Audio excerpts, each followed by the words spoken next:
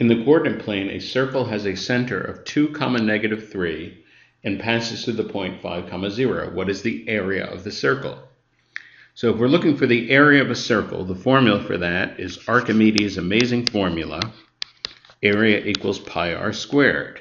So we'd need to know the radius, or at least the radius squared, in order to find the area. So we know that if we draw a line segment from 2 comma negative 3 to 5, that length would be the radius. And notice we could make a little right triangle. In fact, you can always do this in the xy plane to find distance. This length, this vertical length, is 3, and this horizontal length from 2 to 5, this is also 3. So we get a little right triangle with legs each equal 3 and hypotenuse r.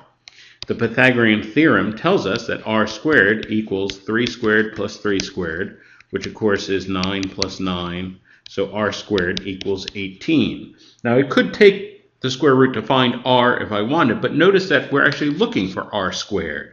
So we can actually just save a step by leaving it as r squared. So area equals pi r squared, and r squared we know is 18. So the area has to be 18 pi, and this is answer choice E.